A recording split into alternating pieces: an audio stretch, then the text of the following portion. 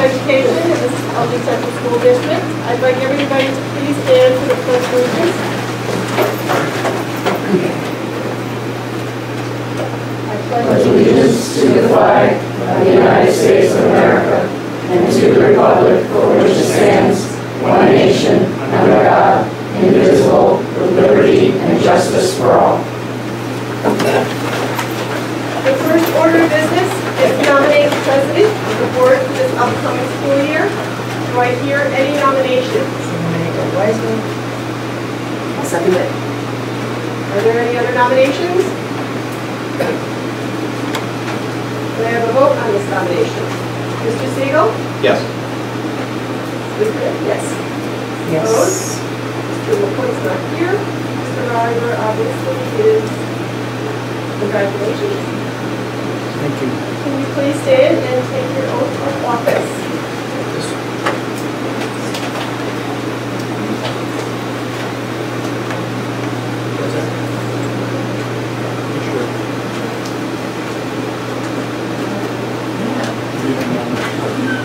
I do solemnly affirm I do solemnly affirm that I will support the Constitution of the United States of America that I will support the Constitution of the United States of America and the Constitution of the State of New York, and the Constitution of the State of New York, and that I will faithfully discharge according to the best of my abilities the duties of the position I will faithfully discharge according to the best of my abilities the duties of the position of President of the Board of Education position of President of the Board of Education for the Eldred Central School District to which I have been elected for the 2016-2017 school year. for the Eldred Central School District to which I have been elected for the 2016-2017 school year. Congratulations. Thank you.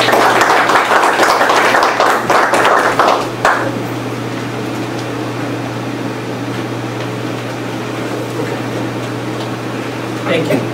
Um, So now we need a motion to appoint a vice president. I'll nominate Amador Pope. We have a nomination for Amador. Do we have a second? I'll second. So Nominated by um, Linda, seconded by Carol. Any other nominations? Any discussion? Okay. Then let's vote. Ryan? Yes. Uh, Carol? Yes. Linda? Amador is absent, and I'll say yes. Congratulations, Mr. LaPointe. So now we need approval to appoint Wendy Jokerski as district clerk for the Board of Education 2016-2017 school year. We need a motion. I'll make that motion. So Carol, and second, any discussion? I think Wendy will do a fine job for us. I can vote. So let's vote. Brian? Yes. Carol? Yes. Linda? Yes. Um, Amador is absent, and I'll say yes. Congratulations.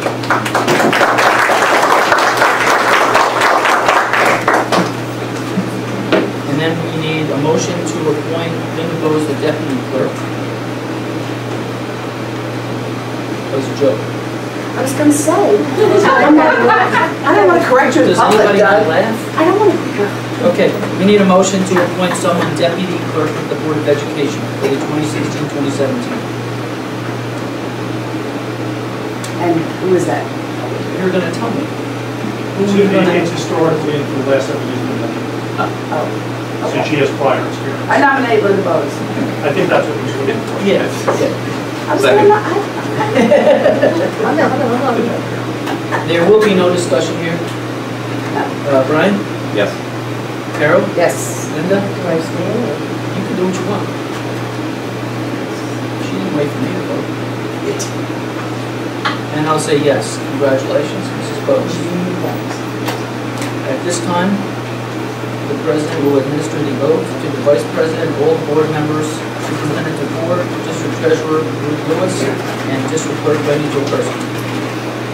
Let's find you that time. I didn't remember, okay? Okay, please repeat after, hold, uh, right hand. Raise your right hand, please repeat after me. I do solemnly affirm solemnly affirm that I will support the Constitution of the United States of America that I will support the Constitution of the United States of America and the Constitution of the State of New York, and the Constitution of the State of New York, and that I will faithfully discharge, and that I will faithfully discharge, according to the best of my abilities, according to the best of my abilities, the duties of the position the duties of the position. State uh, of member of the Board of Education. For the Eldred Central School District, for the Eldred Central School District, for which I've been elected, appointed. 2016, 2017 school year. Thank you, ladies and gentlemen. That's, that's this vote right here. It should be in your folder. If you want to just, just just sign this and pass it down, please. Oh, I'm sorry. Did I do it wrong? Am I okay?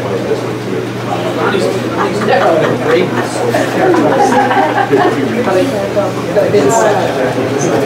great. Page down.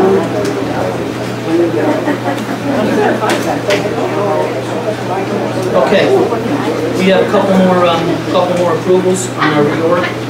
So 107, approval that the Board of Education remains a member of the New York State School Boards Association, the Salt County School Boards Association, and the Rural School Boards Association for the 2016-2017 school year. On a motion made by I'll make that motion. Carol and seconded by, by Linda. Do we have any discussion? Doug, I have a couple of questions on this. I emailed them in a little bit earlier today, Okay. um, so that we'd be prepared for them. So uh, I just have a question about the uh, cost, the annual cost for membership in each of those organizations. So you have the New York State School Board Association, Sullivan County, and then rural. New York State School Board Association is based on previous year's budgetary expenditure. In 2015-16, the was $6,216. The Sullivan County School Board Association is based on student enrollment at $1 per student. In 15-16, the amount was $607.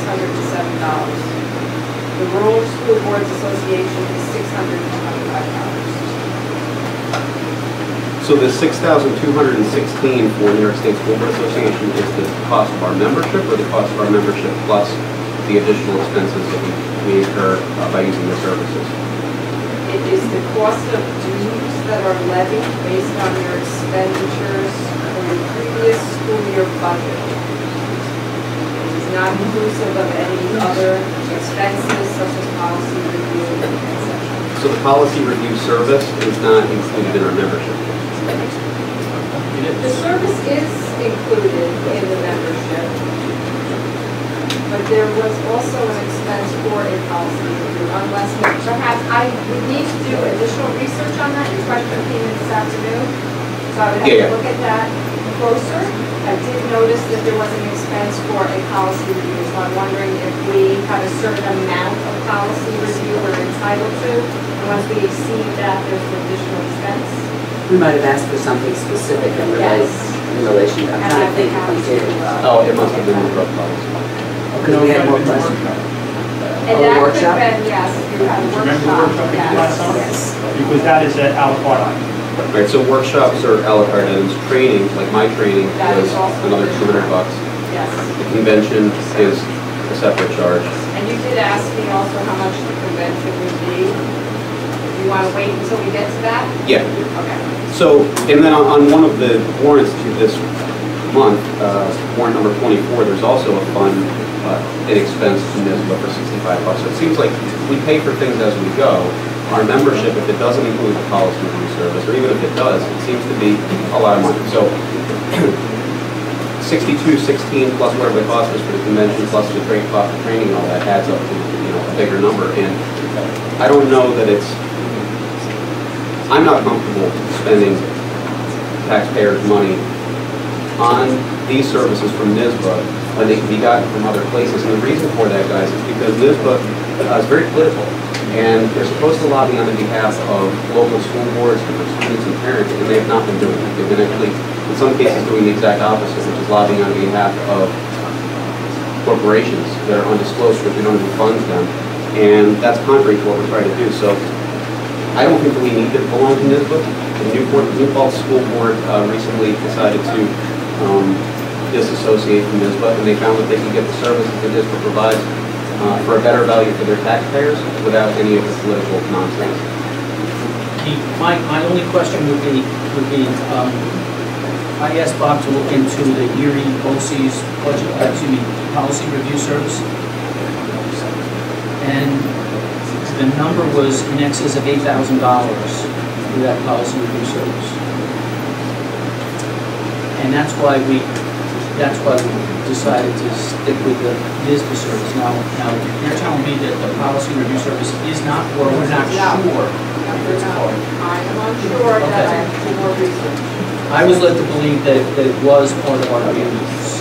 What I would recommend is if this is something the board wishes to discuss, it should be going forward so that we can do our research and have things in place before we do anything because we do need the policy review service right now. So I would not want to cut this off. I mean, we've already budgeted for it, but if this is something the board wants to do, I can start looking at alternatives during the upcoming year. And when we get to this time next year, when we start budgeting for the subsequent year, we can finalize that discussion. Did you have a question? Bonnie, if I'm, correct me if I'm wrong, but the policy service keeps us current with changes in policy or new policies. If we ask for a, a review of our entire book, then that would be something separate. But they send us and keep us current. They they send us policy that, that needs to be changed as it relates to law being changed. Exactly. And at this time, you would get quite a few, I think, Bonnie, I saw four of them come through in the past two Right. weeks. I Once the legislative session ends, there are certain things that districts must do with their policies. I, I don't, I, if we ever had a question, and we had a lot, you know, they were right there and right back. I just don't like that they take, you know, some of this money that comes from our taxpayers and use this for their political agenda, which seems to differ from the, the needs of our community. It's probably a small amount when you're talking about bucks, but I, I still like the idea of sending money to some kind of, you know, political organization. And I'm, I'm not that familiar with their um, politics in one way or the other.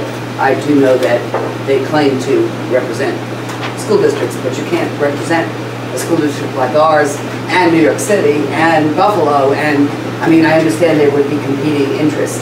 Um, The entire argument about commercial, big business in, in schools is far bigger than NYSSBA you're probably, in fact, I know that you're right, that, that they err on the side of supporting um, the big business enterprises that- that put the money into the schools, and that's, that would be why. So they also have different policies in certain areas too. The city district. Oh, yeah, oh, yeah. They, um, I, I don't, I don't know that they have a political statement. You know, I think they're very generic in that they are for schools. But what that means and how it translates, maybe where you're having an issue. And I get that, you know, I, I, but I don't, I, I do think they're the only game in town. I'm not sure that, I'd love to know more about what New Paltz. Yeah, I wish I would've known, I was gonna say, I wish I would've known what I they don't found want to look better at value. what's, I want to go over it. No, I Yeah, but I mean, if somebody, I didn't even know that schools didn't, it's like being part of the union when you're a teacher or an administrator, you kind of don't have a choice. There's not another game in town, got, I'll I'll choose them instead of them. I don't know that There there's there are other policy services available in areas associated. We did a cursory look at it last year, but nothing definitive came up. As I say, my suggestion is, I understand your concerns, but we continue for this year and review our options so we can make a more informed decision. I wouldn't want to not do it and cut cut ourselves off from something that I know we use quite often Yep, unless, until we have a replacement in place. Okay, I agree. Okay, so then, so then, um, let's vote. Ryan? Yes. Carol? Yes. Linda? Yes. And I'll say yes. Thank you. 108 is approval to appoint someone as a voting delegate for the Board of Education for the New York State School Boards Association for the 2016-2017 school year. Um, So Ryan, you went to the convention last year, so you were a voting delegate. Um, Is that something you're interested in attending again? I guess I probably would have to ask the question on 1.10 about the cost, but I guess probably doesn't matter regardless of the cost. I didn't find it to be a worthwhile expenditure for our district since I was a. That's my personal experience, so I would say that I'd probably vote no for somebody to attend it. And unless somebody's planning on going, I don't really need to have a delegate. Carol, are you going Um, I'm, to Sullivan County School Boards? I will probably go with Sullivan County School Board, it's in Buffalo this year. So you could, she could be the voting delegate for Eldred also if she's already attending. Okay, so let's Well- appoint Carol. I don't really want to do that, but, Why is that? because you spend that entire day in that No, yes. god-awful meeting. That wouldn't, Oh, you thought so? it's a long time. There are many, many other ways that I could spend a day. Um, I'm a, I'm a completely, um, apolitical person, and that room is full of people who want to change every the to it, and I, I, I- I'm, they're in danger And there in weren't my any close presence. votes, so it's not going No, to make. there's not any close votes. Okay, It's, it's all political stand-up comedy, and it's not funny.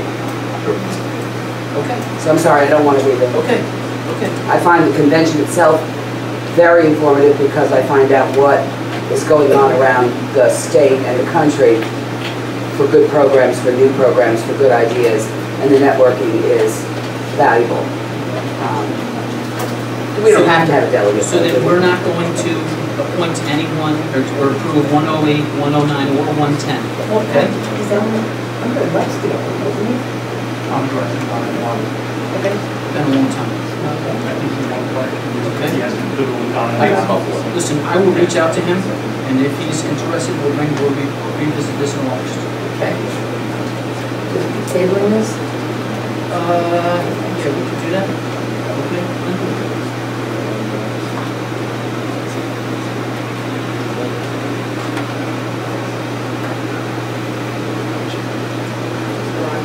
Yes, please.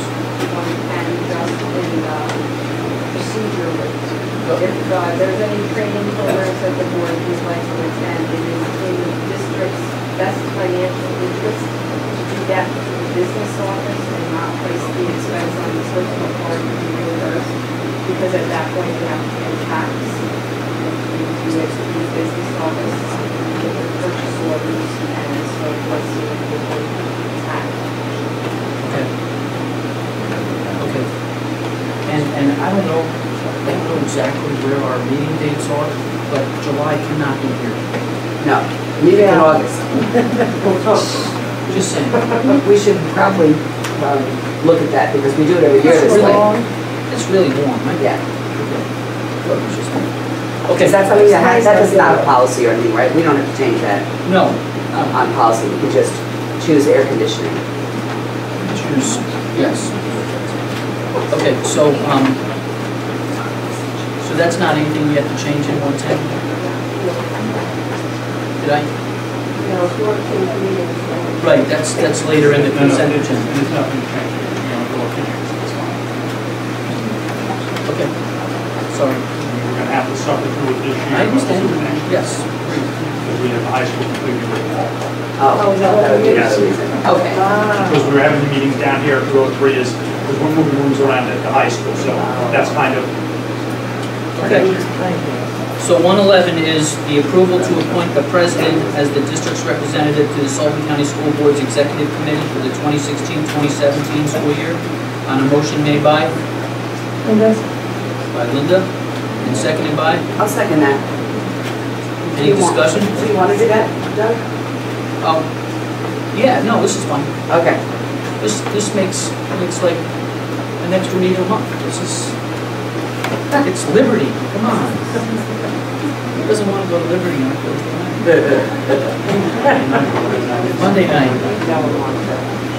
Uh, so let's vote, Ryan? Yes. Sorry. Carol? Yes. Linda? Yes. Amador is absent, and then I'll say yes. Okay, that takes us to our board reports. First, our elementary principal report from Ms. Keating. A lot of field trips took place in the spring. I hope you said walk you, you have that report board packet.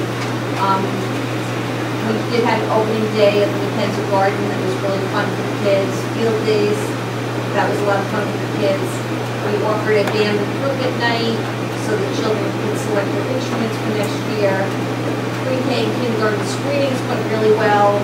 Academic recognition, sixth grade graduation were a big hit. And the summer program is going extremely well. A lot of great a lot of great things the kids are doing, uh, birdhouses, uh, volcanoes. We have some great volunteers sitting in the audience tonight that are helping us. Thank you for them.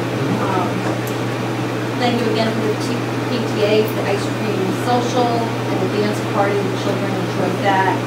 Upcoming events, we spent some time interviewing for the elementary lead replacement. And building is, as you can see, we kind of walked through, we're really underway. It's going to be a very different look next month. We have blues, oranges, green, golds. Every hallway is going to be a different color, and it's really going to pop. The theme is to run elementary school, and it should be happy. So happy is our theme. And um, the great coach training, which Scott and I will be attending with our secretaries. And you will be going now, August 8th and August 9th. So we're looking forward to that. I believe that training is to um, help us with efficiency. I know Mrs. Anderson has been setting up a lot of file folders um, for this. So I'm curious to see what that's about. So it should be good. And it's been very busy this summer. And before I close, I'd like to thank Bonnie for everything she's done for me in the four years that I've been here. Uh, She's been a wonderful asset and a good friend. Thank you, Bonnie. Any questions for Jenny? Then let's go to our secondary principal report, Mr. Krebs. Okay, well, I appreciate everyone for attending graduation. It was a wonderful day. Got in and out with uh, very few issues whatsoever, other than a little bike issue and things with our diplomas, but it was a nice day, and I thank you all for It uh, was- attending. It was a nice day, it was run very well, it was shorter than usual, but, Okay. which is good, but it was, it was very nice. Thank you. Um, This summer, too, I've been updating um, our student handbook. There's been some, um, as Mr. Dufour had indicated, some um, updates concerning graduation requirements, mostly in the special education realm. So we're looking at making sure that we have all of those uh, in order for our upcoming seniors for next year. And looking at our calendar for next year, our building-wide trips, concerts, events, and trying to schedule them out so we have everything evenly uh, um, paced throughout the year. Also in today's um, appointments and authorizations, we will be appointing um, Colleen Koenig. She is moving from a teacher assistant to a special ed teacher this year with us, so Colleen's here with us, so welcome. Also, you're going to be appointing a part-time TA slash part-time uh, teacher, and that is in physical education and uh, TA for our building, and Ryan Jasper is here with us also.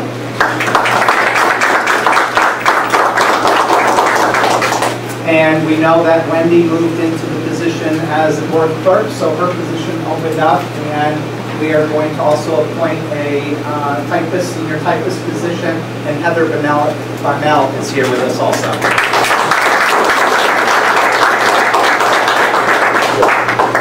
That's Heather. So, and um, that's all I have for you this evening. Any, any questions for uh, Mr. Krebs? I, I- I too want to, I too want to reiterate that, oh, excuse me, one, one second, JD. I want to reiterate that graduation was outstanding. You know, I personally, it was outstanding for everybody, you know, I think Griffin can attest, you know, just, just a great day, great day. You know, it was a Chamber of Commerce type day, not a cloudy sky, you know, burnt on the right side of your face. You know, it was- it And Doug's daughter also graduated, I can't, I can't show her how this one. She's trying to get away, and he's trying to hug her and talk to her. He's trying to get away, and he's, it was Probably embarrassed nice. Oh, it was a dad I, I made, I made her take the picture though, she. Yes. And then he did a selfie too. Yes, that was, It was nice. Well, thank you. That was, So, just so you know, she knew that was coming, yes.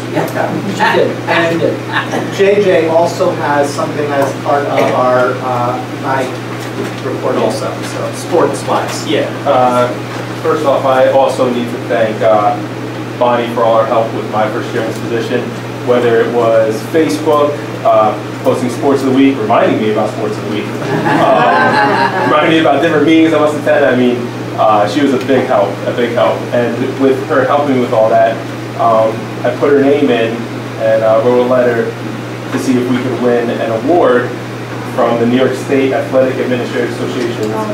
And uh, she won.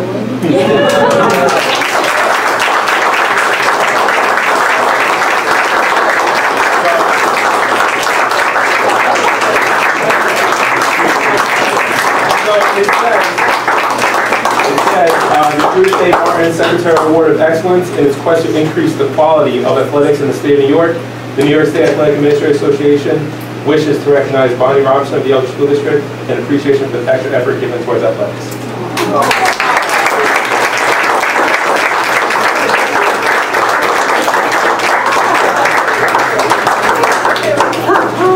Well deserved. Thank you, JJ. for doing that. That's that's wonderful.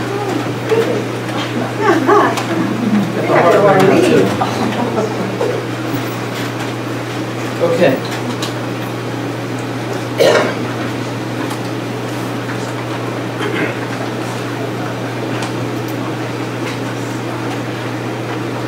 Um, I just want to point out that uh, 502, We're not there yet, hold on. go on, yes, right, right, right. That brings us to our business office report from Mr. Lewis. Oh, okay. So you did receive a report in your packet, there's just a few things I want to highlight. We did have our building condition survey, and uh, I also passed out some information to all of you on both of our buildings and the building condition survey. I also gave you a priority list for each building, and in bold is the uh, highest priority items. Our buildings are as our architect and engineer has said, our buildings are in good condition, we keep them in good condition. Um, They're aging, there's things that need to be up, to be repaired and monitored on a continual basis. My goal is to implement preventative maintenance with our buildings and ground staff. um, And through a little bit of restructuring with our transportation department, we're going to be able to bring more skills into our buildings grounds and maintenance department. You see that on your agenda for later. And then keep our preventative maintenance on schedule to maintain our buildings so that we don't go into disrepair and have an emergency expense.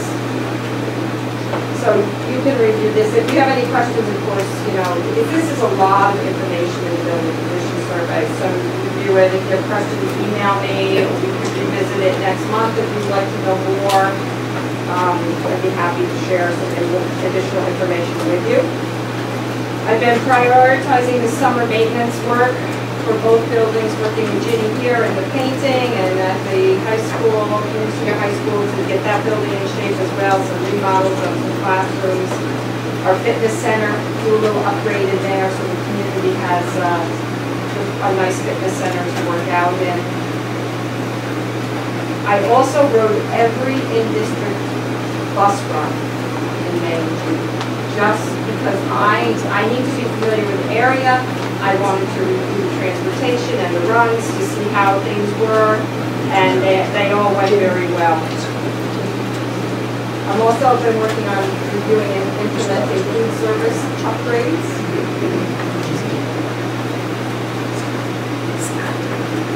And that's been, um, received well by the food service staff, they're on board and, and make some changes come September, one of the big changes is implementing, think already told you, a breakfast program at junior high school. So, looking forward, I'm just preparing for the audit and SB three reporting for state aid, um, reviewing our current contracts for that to go out to bidding and proposal. And I've renewed all of our insurance. So it's been a little bit Any questions Ruth? Okay, then our district report from Mr. Dufour. Okay, um, this is gonna be a story. Um, I'll try to keep it short, but it's gonna be a story. A couple of months ago, um, Mr. Binkowski uh, came into my office, uh, probably February or March, I would say, uh, on behalf of the basketball boosters. And um, he shared with me his ongoing efforts to uh, raise money to uh, try and replace the gym floor. Um, I told him at the time that we had no money budgeted to assist with this, but we would do everything we could to support uh, his efforts and the boosters' efforts, and we would do anything we could to facilitate what they were doing. Fast forward three months later, um, and it shows you how quickly things can happen. Um, I was informed that the boosters had the opportunity to buy a refurbished floor um, and that specific floor uh, was coming from Penn State University. And uh, at that point, Dave had made contact with me and started sharing a very ambitious, elaborate set of plans to redo our gym. So I'm going to share what I've done, then I'm going to ask Dave to continue with a presentation, and then at the end, I'll tell you what I'm asking for. Um, We now have our booster club that has a floor in storage in Philadelphia. They have a very ambitious plan, and the only thing standing in their way of doing this are any possible structural issues we may or may not have in our current gym. Uh, in particular, the thing that brought this whole issue to the forefront is what I will call the crease, the bump, or whatever it is in the middle of the gym floor. The company that gave our um, five-year building survey. We contracted with them out of existing budgeted money to do an engineering study of the gym, to find out if what the boosters were proposing was feasible.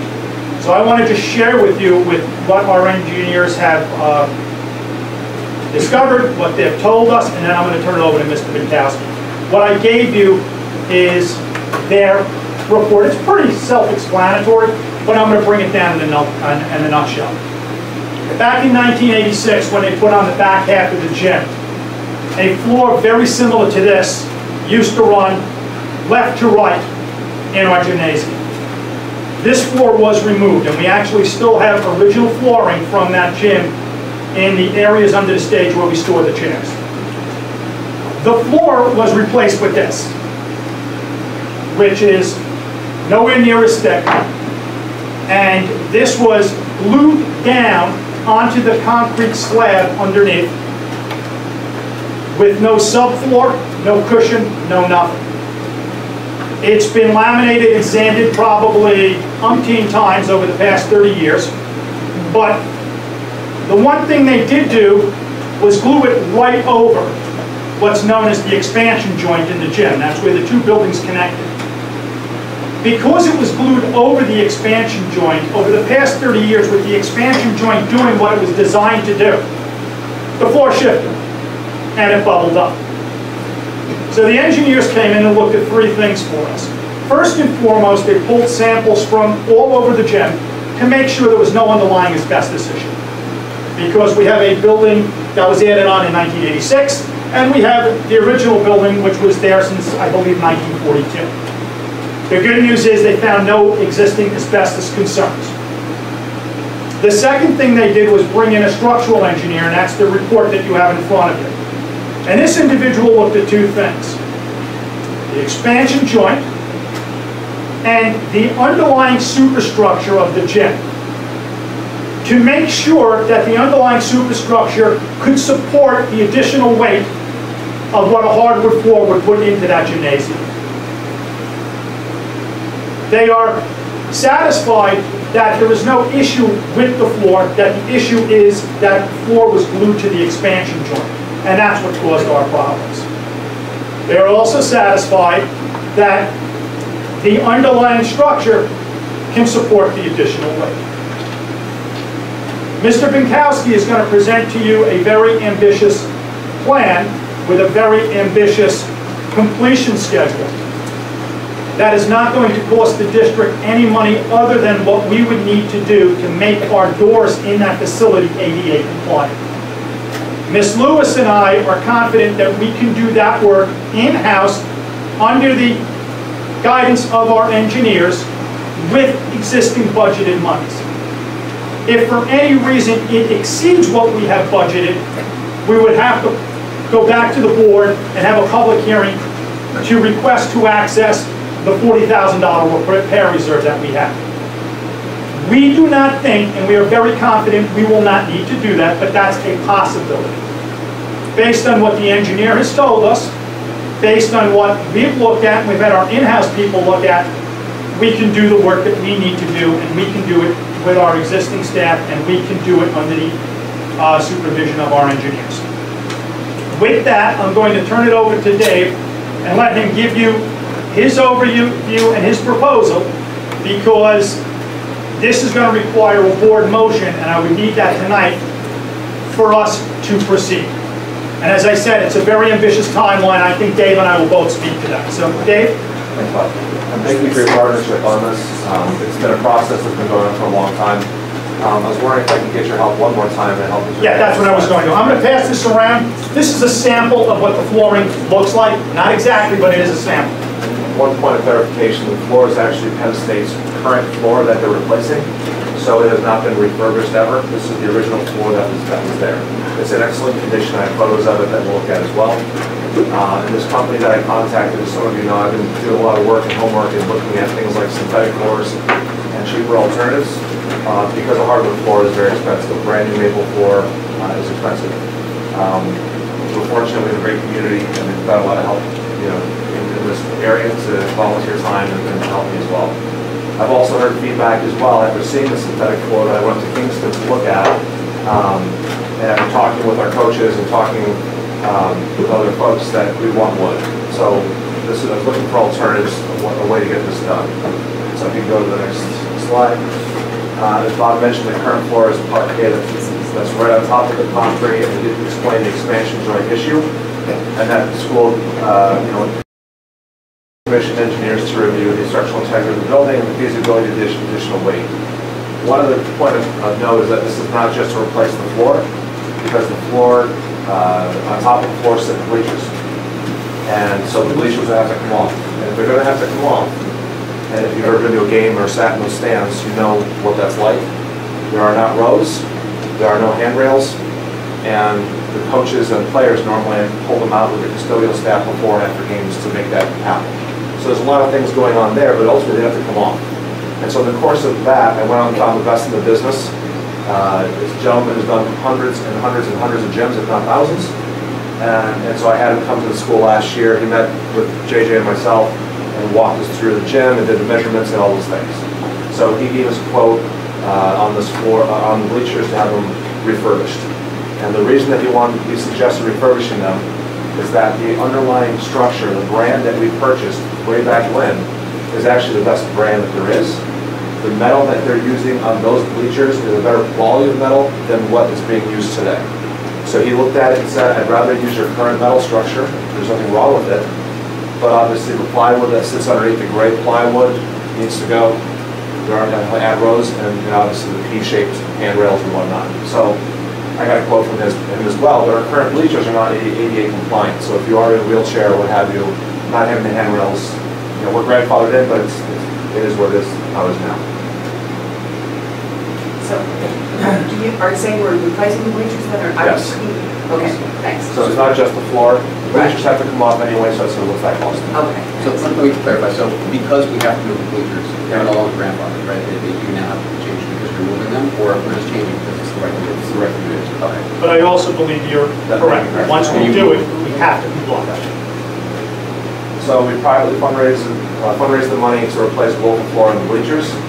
That's been through a series of fundraisers, merchandise sales, private donations, et cetera. Which is how much? I'm sorry? How much is that? In total, the bleachers are forty-three thousand dollars, the floor was thirteen thousand five hundred, we have ten thousand in the bank for materials. Um, and the labor is being donated by local contractors. This for just the bleachers. Wow. That's for the floor and the bleachers. Wow. Fred? Uh, go back one, just one, just want to see real quick if there's anything that's, no, we already mentioned that stuff. Yeah, go next slide, please.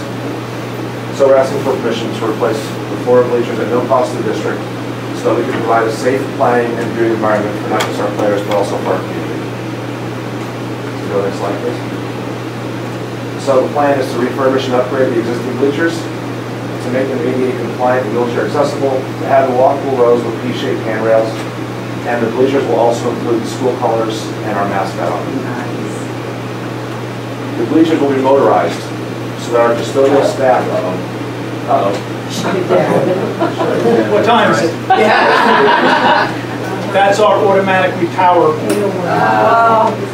So, uh, computer clock, which will probably be done by the time I bring it back up. I have it on my phone, sorry. So the bleachers are motorized, meaning that the custodial staff, Mr. Gass, whoever has a key can walk over, turn it, and it will open up and close automatically, no manual labor required. One of the things that we also were presented with and said is worth doing is that the back row of bleachers for the student section will be removable. And so they're gonna put a railing all the way around it so that it doesn't fall off.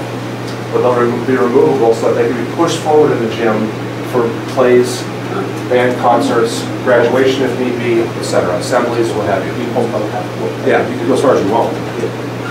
So you can make, make a half court kind of thing. So you can have actual risers in there, plus Doug. uh, I'm dealing with that joke all my life. I have, an- I have an example of what it looks like on, in the deck here. You've been to other gyms, I'm sure, I'm sure you've seen they have aisles with the railings in the middle. It's a standard feature. The floor plan is the next piece of this. And again, as I mentioned, we've got, we have licensed local contractors who have agreed to volunteer time in exchange for an in-kind donation essentially, so they give me an invoice, I give them a receipt saying you donated this time in kind to the Booster Club, they get a write-off out of it. To help with the installation, the sanding, the painting, and the- the seal for the floor itself. The new floor will be floating, so unlike our current floor, which is anchored, literally anchored to the ground, it will be a floating floor, so if the joint were to move again, that expansion joint, we won't notice it. And there are three possible ways in which this could be done. You could float it with two by four sleepers, there's the bleacher example here. And you can do it with one by four sleepers, or you can do it with a layer of plywood. Those are the three options. One by four what? Sleep. It's called a sleeper. Wood, just- Just, What? they float it up off the floor, above the Oh, concrete. Oh, oh, So I spoke with a floor consultant via, the next slide please. I spoke with a floor consultant who's done this hundreds of times. Um, He's based in Texas, and he offered us free advice and said, since you're doing it yourself, I'm gonna give you this advice for free, and I'm here for it if you need me. He's done repurposed maple gym floors, as I mentioned, half inch plywood the best route, uh, as opposed to floating for our situation. If we were to go the other route, we're now talking about the one foot gap that's between the doors and the gym. If you walk into the gyms at the high school, you'll see the woodworking is about a foot thick. By doing it the other way, we're adding on more inches. So by floating it, we're adding on additional height, which means the ramps into the gym will be more steep, which we don't want. So he recommended for our situation that we do this, this route.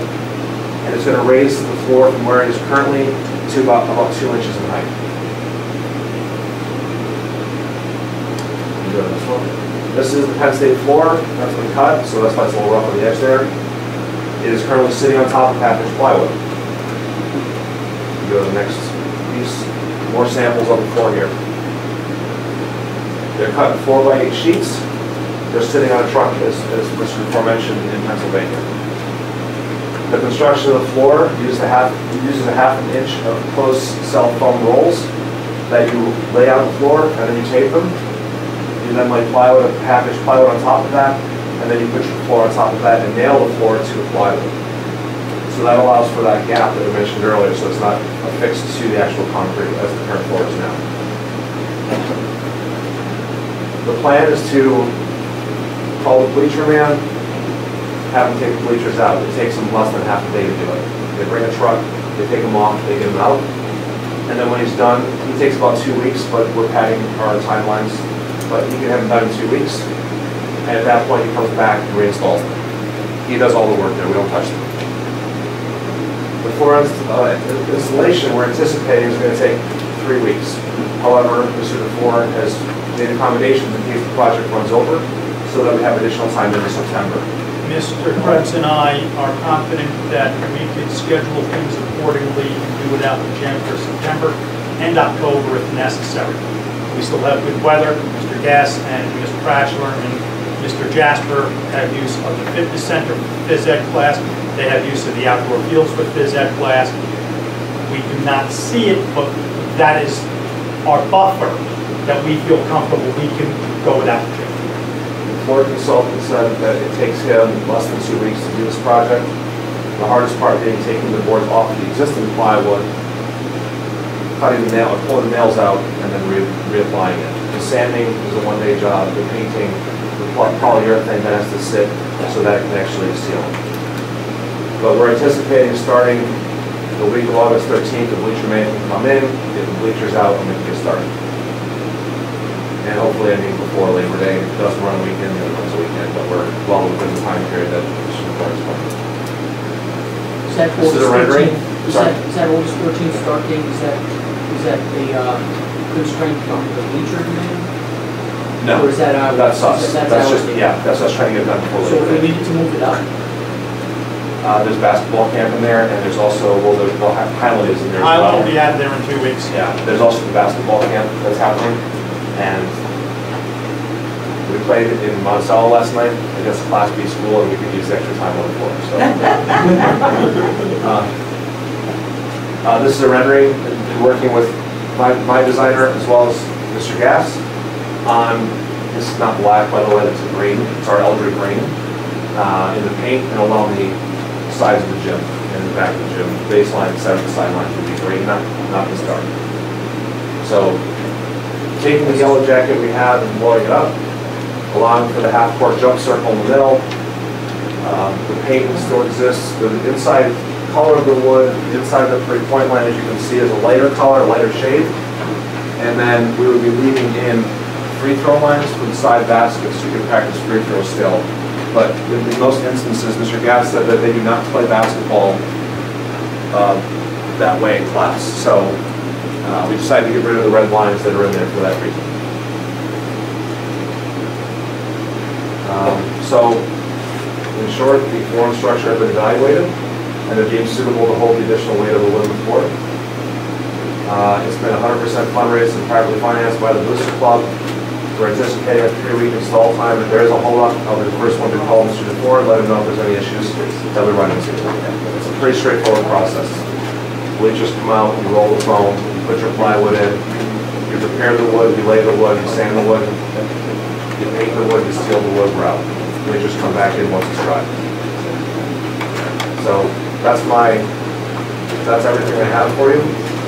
And, um, like I said, I can, I hope to vote yes, and approve it, because then our kids can really use it. Nice job. Okay, so, as I said, it's a story slash presentation, but uh, Ruth and I have been working with Dave since the beginning of June to see if we could get it to this point, and we actually finished up with this yesterday at a meeting in my office, and uh, got the final engineering report. We had a verbal a week ago, but we got the final engineering report today. So under new business, I'm going to be asking the board for permission to proceed with this plan. Um, We are filing for the permits with SED. Permits are required. Uh, Ruth is working with the engineering firm, and they're filing the permits with SED. Uh, If the board approves this plan and gives us permission to go forward, Doug will have a sheet of papers he needs to sign tonight as the board pre- president, which is part of the permitting process. And I see absolutely no reason not to proceed with the uh, plan. Uh, I see no pitfalls, I see no drawbacks. Um, It's something that we've been wishing for for many, many, many, many, many years, and I think it will finally come to fruition, and I think it'll be, uh, uh, come to fruition uh, sooner than later. So my recommendation to the board is to uh, accept and approve the plan and give us permission to go forward. That, of course, will be up to you. And both are in agreement that we're doing it for our people. We're, they're doing it with volunteers. Our people will be doing the ADA compliance and the door work, their people will be doing the installation. As I told Dave, my intent is if the board gives approval on a given date, I will turn the gym over to him, lock the doors, um, and uh, we we discussed certain safety issues when they sand the floors, we need to seal the doors that go out to the hallways to make sure the room is properly vented. He's got, he went over the whole list of contractors, every one of them is a professional, they know what they're doing. Uh, Scott and I have discussed this, Scott was in the meeting yesterday, we do not see it interfering. Uh, You know, best case scenario won't interfere at all.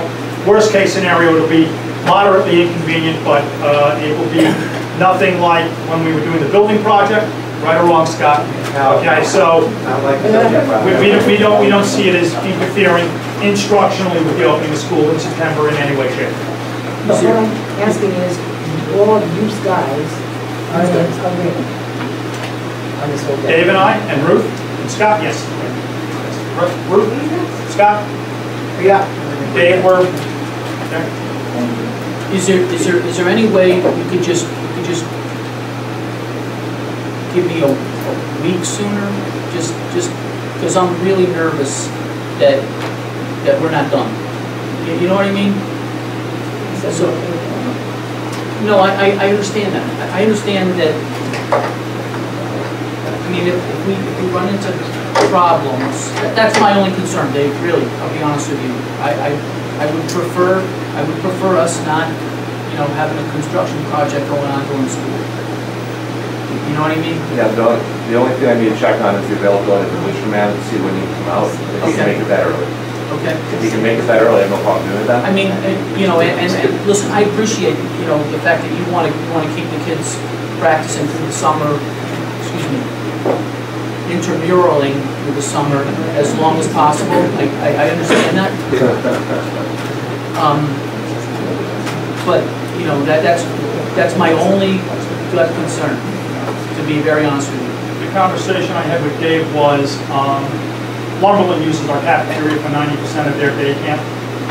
Um, if I have to go in Monday and let them know they can no longer use the gym, they can use the outdoor fields for their, their activities, et cetera, I'm prepared to do that. Dave knows that I will do what I can on my end to turn the facilities over to him at the moment he wants them.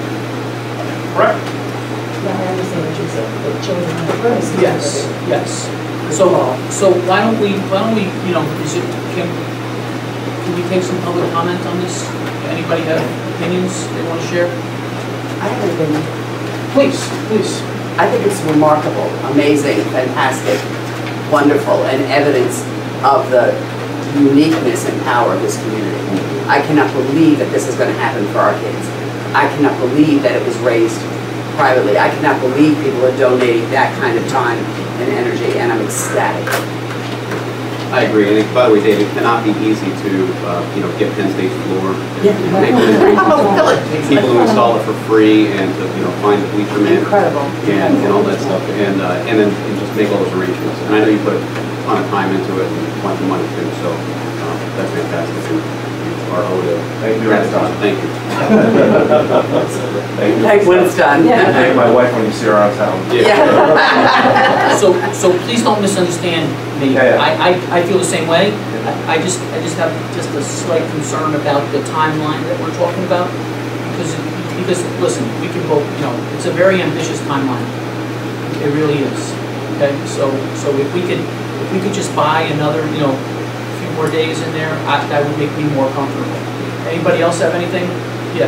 Well, like, um, even if it extends into the school year, which it doesn't seem, it seems like it, you know, could be worked out. I mean, like, for most of the, a couple of first weeks of school, we normally play outside, if it's raining, you know, we could go to fitness center, I don't think that it would necessarily, you know, if we ran into trouble, and, We, you know. we agree with you, Yeah. and, and you're, you're absolutely right. You know, I, I would just like okay. for that not me personally.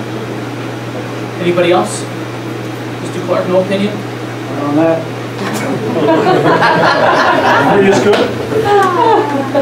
Three is good? Three is good? Praise God. Is good. for you to, yes, Mr. Yeah, I'd have say even, like they're saying, if it goes into the school year, I don't know, given the trade-off, I don't know how you can argue with a new gym floor for an inconvenience of a week or two, I- you know? and Again. don't I understand, I understand you don't want to interfere with anything to do with school, Well, but this is worth it. Okay, okay, and, you know, I've redone my floors at my house, and I've polyurethane my floors at my house. After sanding them, you know, my wife took away the nail files, she was so disgusted with sanding, right?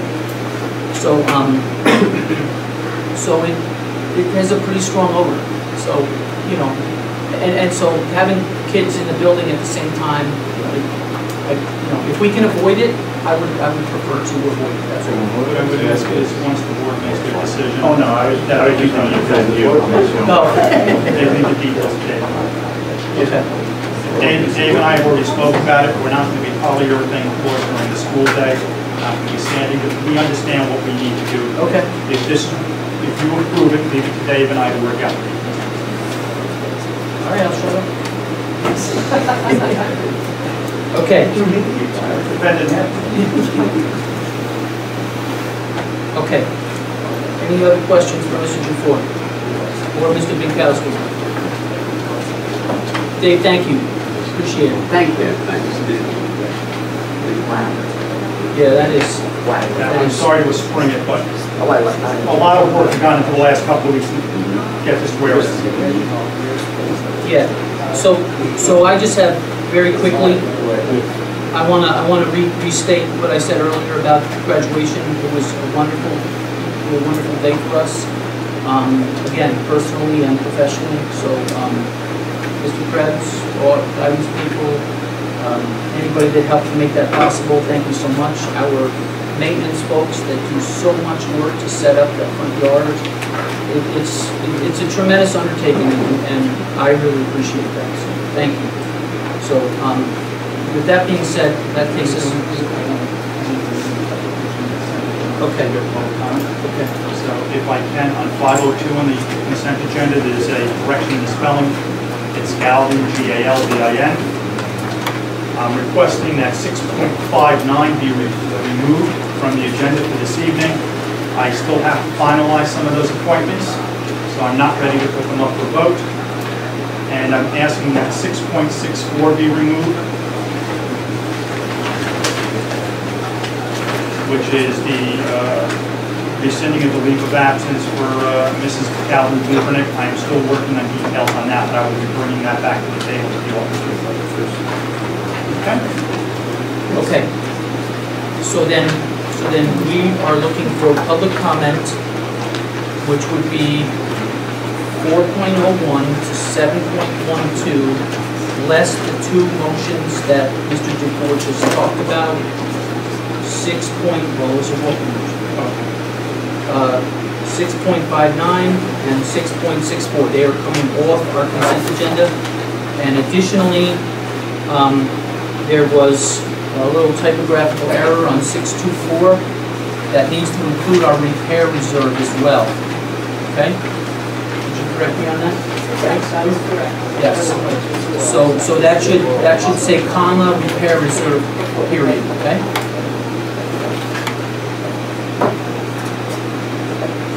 Do you want to comment yet? So, public comment on the consent agenda, yes ma'am? I have a couple of questions. Um, 6.17, the um, district's dentists, what service do they provide? They do checkup, Mouthpieces, mostly for Mouthpieces for the the football football team, team. the soccer team, whatever. We've had them on retainer, and we're required to have a dentist on retainer. Okay, I just, I Yeah. never saw them about the school. And my other question is 6.45, um, a Medicaid compliance officer? Medicaid and the school, what is, In what's the what's that special come from? ed department, uh, there are at times students which are eligible for Medicaid reimbursement. Okay. Currently, we do not have any students that are eligible where the sum of money would merit the amount of work involved in claiming the money. but the medic, we're required to have a Medicaid compliance officer so that we can claim that if we had had the need to do it.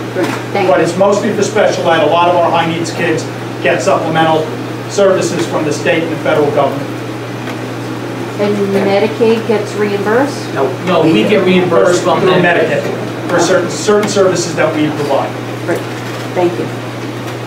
Any others? Yes, sir. Um, I'd like some clarification on what, what's happening with 663. Uh, I understand now you're taking a person from the bus garage and putting him on maintenance.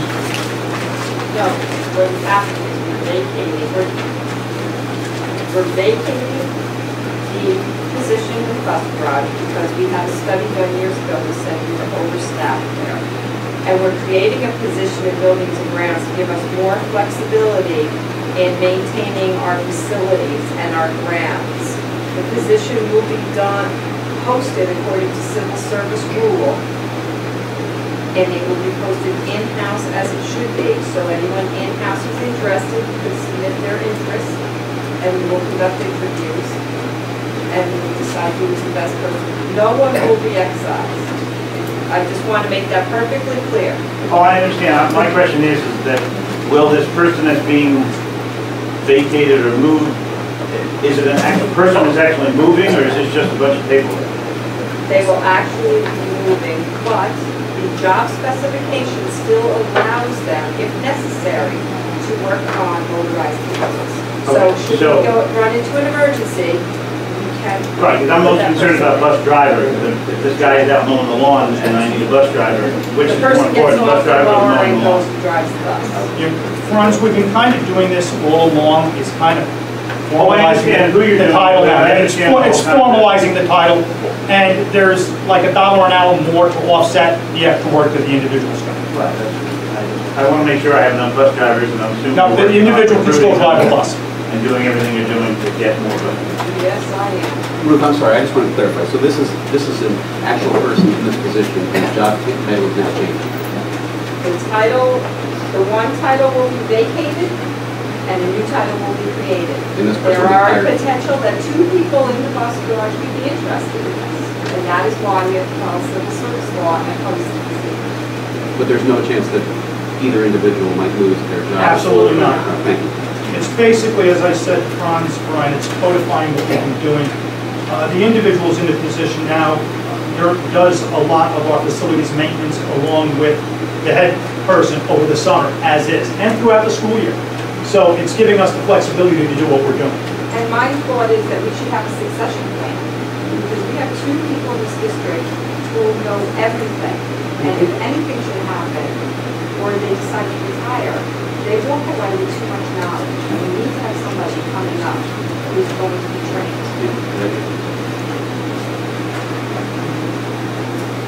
Okay, any other comment? Yes, sir. Yeah, I had a quick question actually. Um, for six point five three, I was actually, like, I've been very interested in doing the, uh, audit committee. Now, that's for, like, going over the budget and stuff, right? Am I- The audit, the audit committee goes over the audits. The financials of the.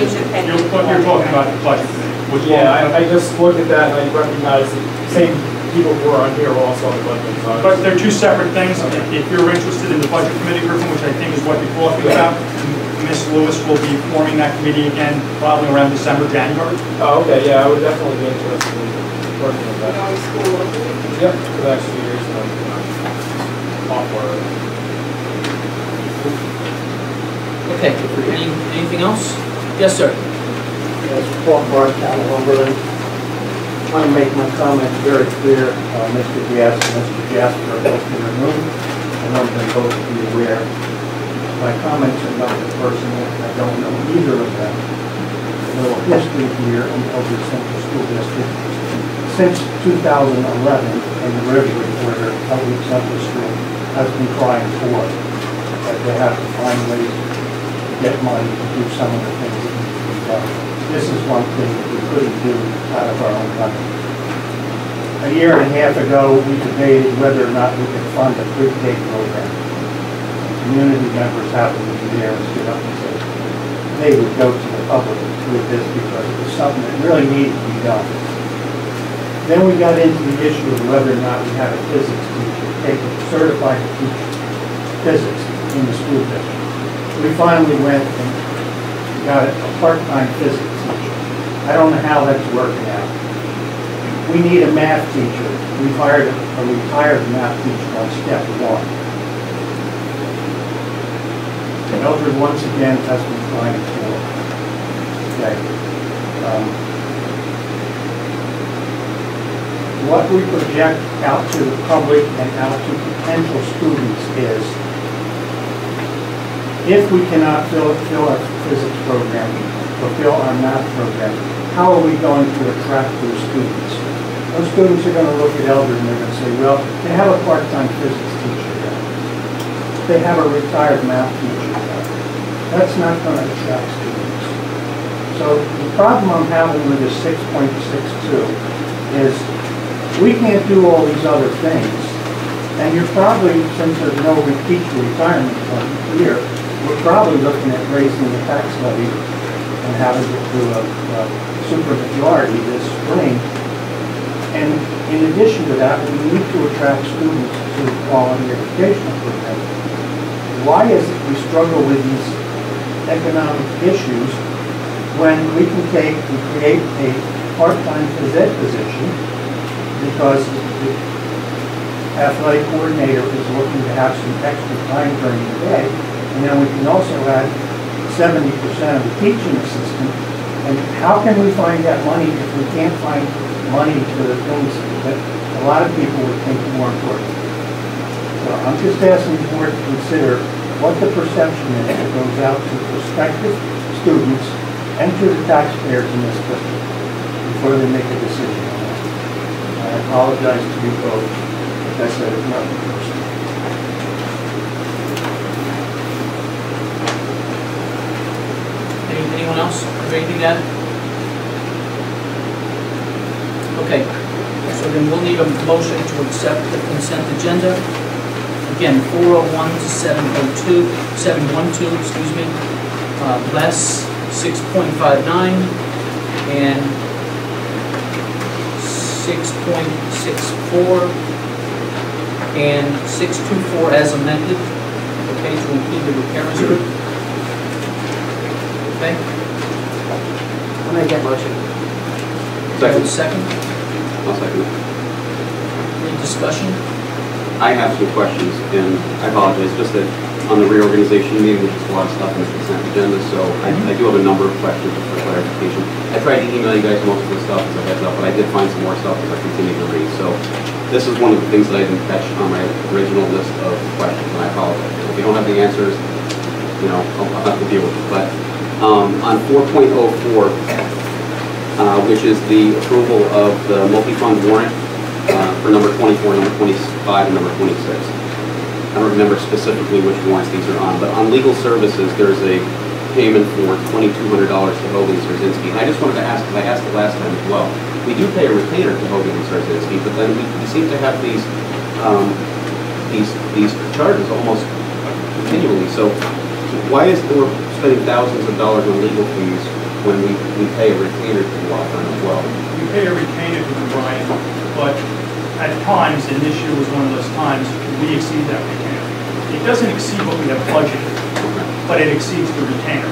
And this year, Ruth was looking to increase the retainer for those eventualities. We have a couple of things going on, uh, the ongoing legal matters, which do incur costs. Okay? So what you're seeing on the warrant at this time of the year, I think we received notice from them the second or third week in May that we had used up the retainer at that point. So it got us through almost the full school year. So the retainer runs through May 31st? Well, the retainer runs through June 30th. June 30th. We used it up by the second or third week in May, and that's the point I told Ruth to look into uh, increasing the amount of the retainer. But we're not exceeding The budget? the budget that we have for legal services. That actually answers one of my other questions, so I want to. But um, another thing on uh, one of the warrants is um, payments to the G. Davis uh, for the contract, the uh, contract for transportation. And uh, I don't remember uh, what the expectation was that was put forward for what this is going to cost us entering into this contract with G. Davis. But, you know, just to to go through some of the numbers here, in April, we paid them $2,000. In May, eleven thousand dollars, in June, another thousand. So is this in line with what we expected, that contracted I cost? anticipated it would be forty to fifty thousand dollars for transportation of our athletic and some of our academic field trips, yes. There's a lot of field trips in, in May and June. So that's what that was, okay. And is that something, I mean, that's related to the idea that we, we don't have enough Right. drivers? Correct. And we can't seem to recruit them. Did I see somewhere that we were gonna talk about that tonight? I don't think it's not We're gonna talk about the the recruitment of our drivers? That's a problem in municipalities as well. No, I thought I saw that on. Driver, Am I crazy? It is my plan to do another bid also for contracting for academic and athletic trips because, and it should be done proactively. Mystic Valley does it proactively and they have a full fleet. And they have a contract for their athletic trips. And I am going to do it again, and this time I'm not going to wait, I'm going to do it ahead of time, so we're going to follow the procurement process. We did that as an emergency in January, we knew we were not going to take the grants. Is, is the goal long-term to not have to do this? in I would love not to have to do this if I could recruit drivers. Well, Look, we've been talking about offering incentives uh, for drivers in line of what some of the commercial companies do. We have not finalized it yet, but we- we've been talking about it for the last couple of months. We've been talking with the Drivers Association, the Transportation Coordinator. So what we will probably do is come back in August with a proposal as to what we'd like to try. Um, I don't know what the legalities of a public entity offering incentives are, but we've got to look at it. um, Especially in the spring, we always, always have issues with the drivers. You know, the drivers are running the routes, they're, they're doing most of the academic trips, but the athletics are, are hard, and it's just so many drivers that we have. And the, the contract is limited to extracurricular runs, right? Yeah. The contract will not allow for G Davis to transport normal students. No, no, no. And it's only when needed. It's not like we're guaranteeing them X number, it's only when their services are needed. This is from, out of where? They were the least expensive when I sent out the quotes, they were the least expensive. And finally, on the warrants, the um, payment for Epic for $1,801, is that for the um, assessment that we have in our folder? On that, the assessment was already paid for. First of all, when you see it coming out of the general fund, that's being charged off to a Title I grant. So that's not district revenue that's being used for that. Um, We are now in the transition phase with them, where they're now recruiting to the coordinator. And the entire expense for this project is being budgeted into our Title I grant for the 16-17 school year. I changed that grant back in, what was it, November, where I allocated up to, I think, $15,000 of Title I money for the assessment and for all the follow-up and subsequent. So when you see anything from that, it is ultimately being charged off the Title I, but it has to go on our, our warrants. Gotcha, okay, thank you. All right, I'm sorry, on 6.05, um, which is uh, the approval that the superintendent is authorized to employ personnel on a temporary per diem or substitute basis and to set the appropriate wages for such personnel.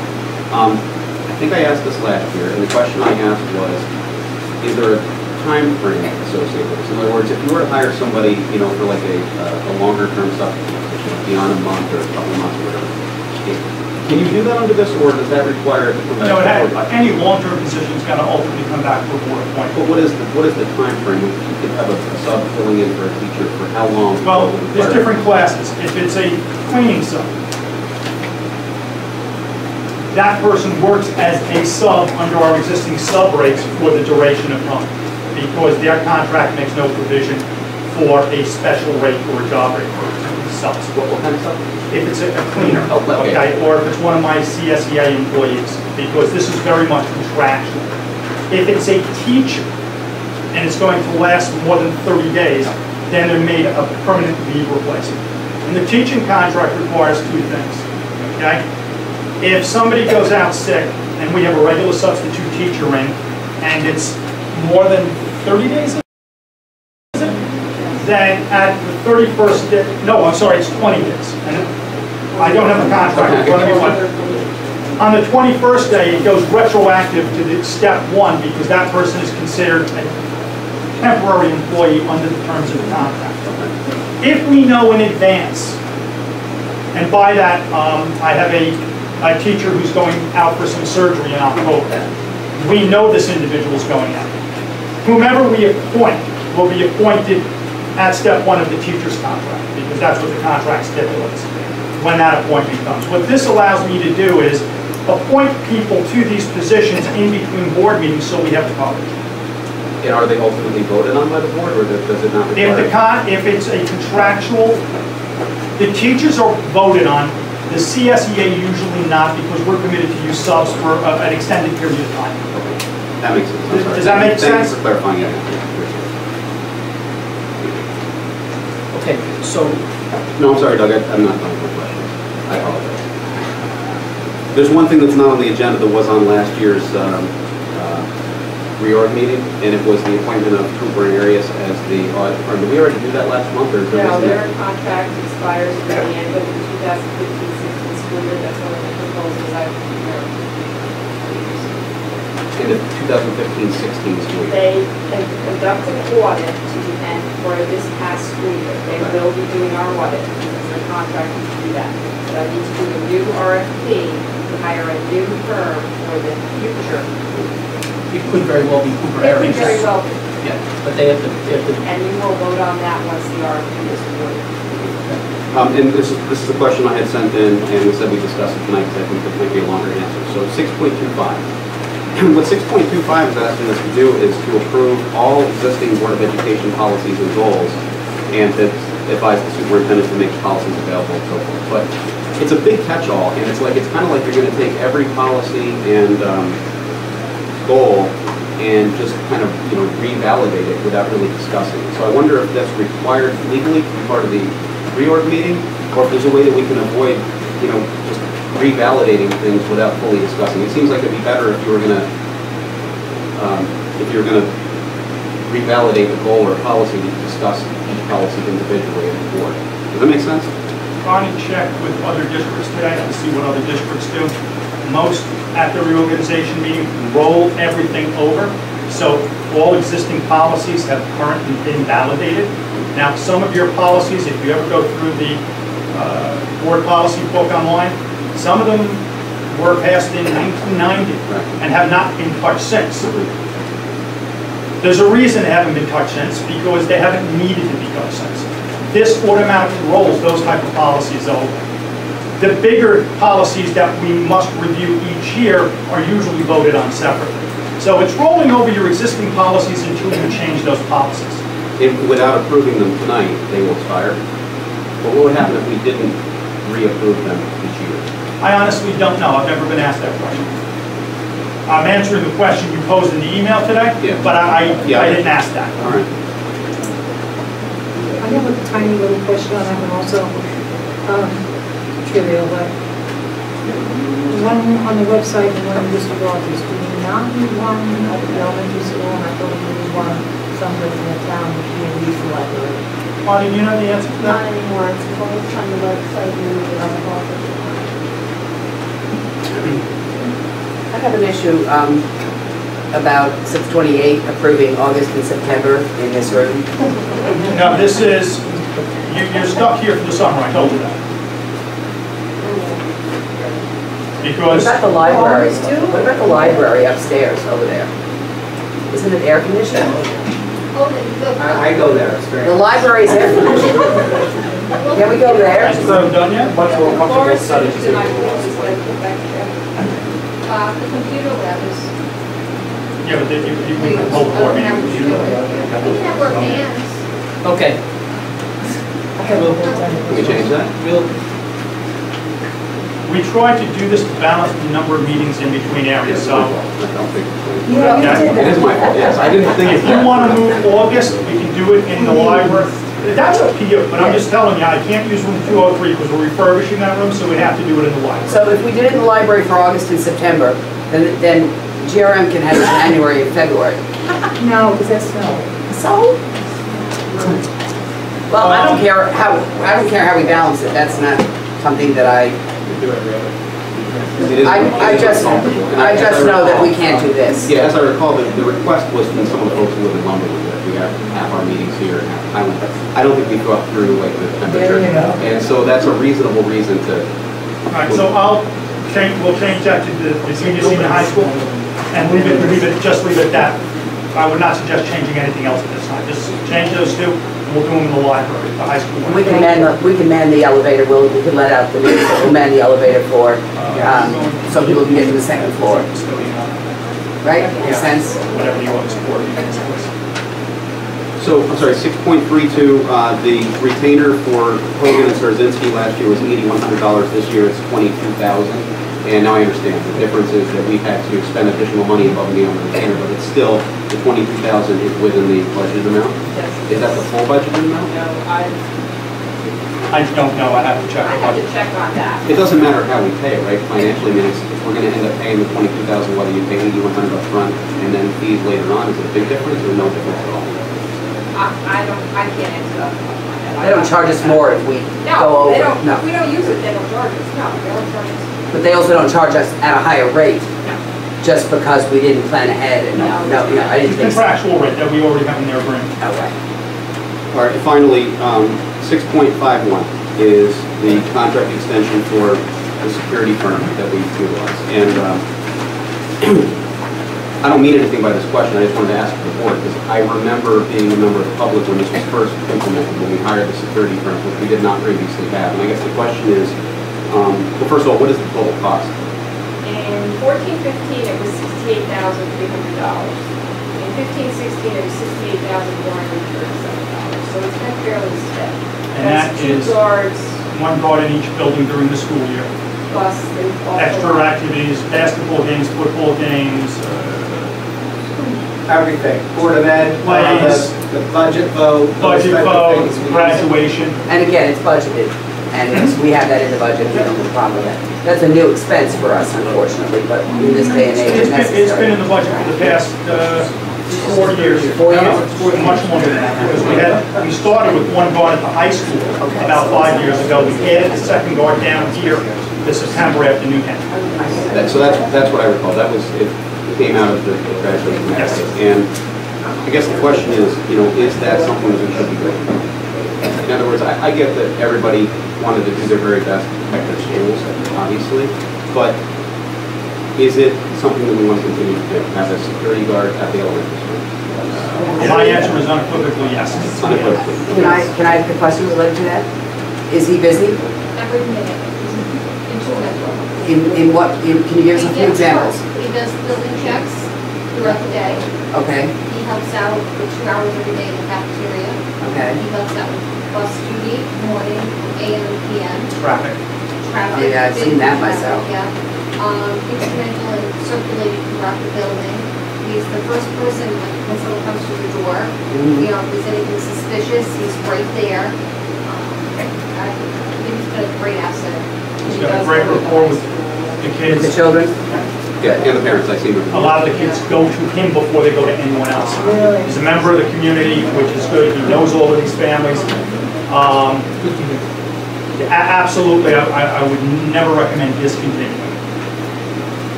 I feel good about the security level at, at our schools in this a day and age. I, I hope we never need them, but I'm glad It's much Yeah. less than if we were paying them in-house, because we have to pay benefits. Yeah.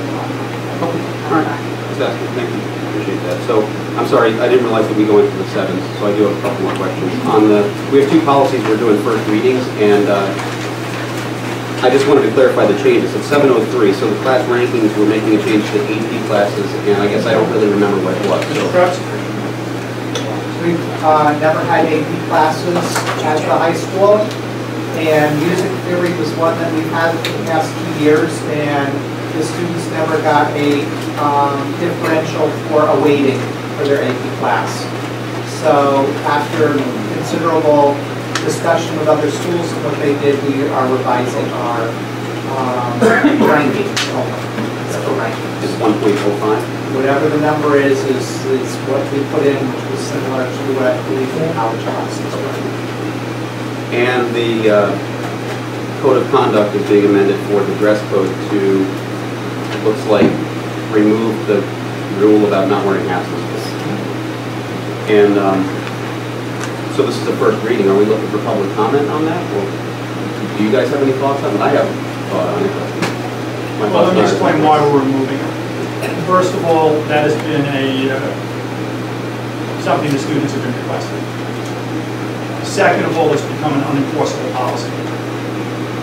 And by that I mean, in order for something to be done, everyone has to uniformly enforce it. And this is kind of what happened with the cell phone ban. Um, Some people didn't want cell phones in the building, some people did want cell phones, some people enforced the policy, some people didn't enforce the policy. And ultimately, it came that they expected uh, Scott, Ginny, and I to be the only ones to enforce the policy because no one, no one wanted to be the bad person to tell someone to take a hat off. So we sent several emails out polling the staff and got very little uh, communication one way or the other from. But we knew the policy wasn't being enforced. So we're going towards what the cell phone policy is. Students can wear their hats in the common areas. It's up to each individual teacher's discretion whether or not the student wears hats in their room. And we did that with the cell phone policy two and a half years ago, and it worked out very well. Now, some, not everyone agrees with it, Brian, but unfortunately, uh, it would have to be a uniform application of the policy for it to be effective, and there has not been. And, and I think we choose our battles, and I'm not sure, you know, it, it goes, it goes way back to when old men removed hats as a sign of respect. And so girls wearing hats was no big deal. Well, now, that's not enforceable either, and it, you know, one, one and not the other.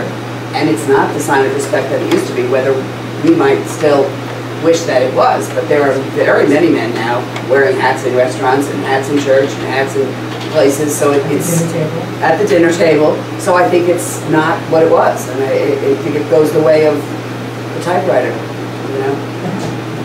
Do do we want to teach that it should be that way? But maybe, I'm not cool, so I don't think it's cool to wear a hat.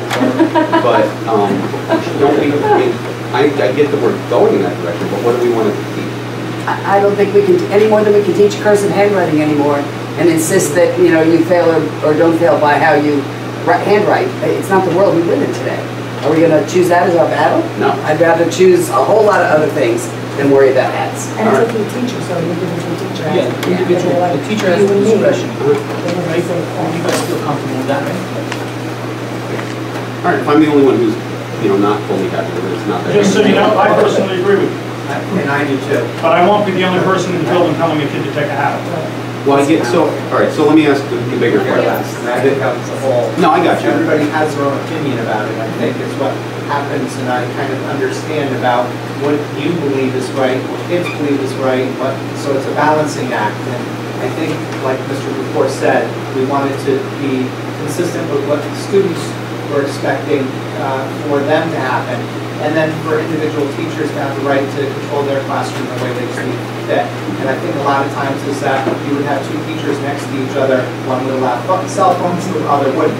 One didn't allow hats, the other kind of did. So we were kind of putting it back to, well, this is what you feel, just like whether homework can be handed in a day late or homework needs to be handed in on time. It was one of those type of things that we really thought. And I had had this conversation last year a number of times with the staff throughout the year. And one of the things that helped me out on making that decision is that that hat line was in the board policy. So we had to come back to the board to remove that to have a conversation with the staff again. Okay. And it hasn't been in there all the time, it's only been in there about six years. Yeah. It wasn't in there prior to. And I'll be honest with you, it was a specific teacher that led the charge at that time to have it put in. And not everybody saw it that way, but there was enough support at that time to do it. It's not that support now. We need the teachers to be teaching. They need to be running their buildings. I have a district to run. It's, should be the teacher's decision at this point. I got you. All right, cool. Final question, sorry. Uh, 710 is the uh, agreement between our district and the town of Lumberland for the bus garage lease, and it's 3,600 per month. Is that the same as last year? They've been, they've been really good with us. All right, I'm sorry for all the questions, and I appreciate the That's right. I have a- you got, you got the other answers I sent you. Yes, thank you very much. Okay. Have a question. I'm not going back to August, no. I have a question about 614. It's just a clarification, really. It it appoints you as the uh, Section 504 responsible person. Is that for the elementary and the high school? It's for the district. It's all for the district. So if there was a 504 request at the elementary, you would chair the committee? No, I do not. No. Usually it's chaired by, and if there's any concerns that come up with 504, Yes. then that comes through me, and then I have a conversation about it. Oh, I see. Okay, so it's more like a, like a second level of, If, if- if needed. Our If needed. CSE chairperson is not uh, an the district, it's an employee of the budget. right, so that's why you've got separate 504. That's why I have Scott as the But, but who chairs the meetings for the 504? CSE chair. Okay, that's all. Okay, any other questions? I have a couple of tiny ones. Um, six twenty-nine, the, um, the meal policy, have the prices gone up or have they changed? That is, uh, relates to weight reduction program set by the That's not our meal prices. Have our meal prices changed? We have not, but we do have to look at that according to New York State. There is a school that I have to complete that may come out and say, yes, we have to. So I will come back to that in August. Um, uh, six fifty-two, Dr. Gill, I think, just to be nosy, who is that? I'm sorry? Just to be nosy, who is that? He's our district physician. Where is he from? He's from Monticello. Okay. He's actually Monticello's district physician too, I think. Um, We're very pleased. And what is that charge? Off the top of your head. There's the physicals. It's not a lot more, he does all of the physicals, the athletic physicals, we show him, you know, go to the doctor, for the physical at school. Oh, okay. And, uh, he can, re- he's the only one who responds to the RFP that we have. He wins. We're not happy with the person. There's no add-on motion, is that right? We have two walking. Are they part of the consent agenda? or they No, separate? they're gonna be at the they'll be separate. So there's nothing on the consent agenda except for these things we removed there. Seven oh four, As amended. are, is this, uh, the, uh, BCKII group, is that a, a change in our, or trajectory?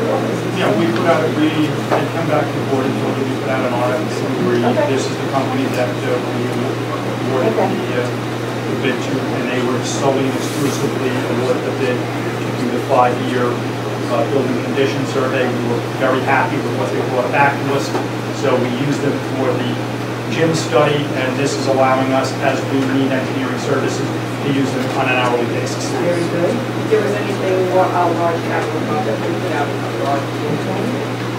So far, they've been very responsive. That's it. I- I'm sorry, I just wanted to clarify one of the answers that you gave me over email today. Um, 712 is a new contract for the Center for Discovery, and it's for, um, it is for assistive technology. It's not for assistive technology, Okay, it's for assistive technology evaluations. Part of the special education law requires that if a, if a student will ben, if a special education student will benefit from a certain device, technology device, that we're, we're required by law to provide it if it's mandated as necessary to the child's education. So we have to have an assistive technology evaluation for a child when it's requested. I don't think we do it very often, and we don't it find that it's we- necessary. We requested it, one from, for the first time from them this year, this contract takes us into this coming year, it's a service we've never used from them before. Oh, okay. So it's basically, here's the rates, we're going to charge you if you need this again. And that's gotta be approved by the Committee on Special Education. did we previously use a different vendor for this? No, no, we actually, this is, always use the center, but the center has become far more legal oriented recently, so they want a contract for it. And we have a lot of uh, various contracts that uh, we have. Uh, We have contracts for physical therapists, and sometimes we don't use them the whole year, but we need them on, uh, on on our contract, so we have an approved hourly rate in case the services are required during the school year. Thank you, that's it. Okay. Any other questions, comments, concerns? Then let's vote. Uh, Let me find my... So Brian? Yes. Carol? Yes. Linda? Yes. And Amador is absent, I'll say yes. So I would like to be the first to welcome uh, Heather, Colleen, in the different capacity, and Ron.